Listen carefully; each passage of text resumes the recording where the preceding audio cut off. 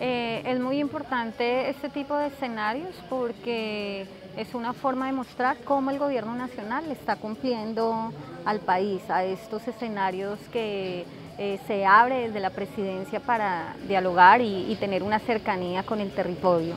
Y es una solicitud que eh, se gesta desde los mismos pueblos indígenas donde ven la necesidad de empezar a, generar acciones contundentes en el marco de la interpretación y de la traducción en lenguas nativas.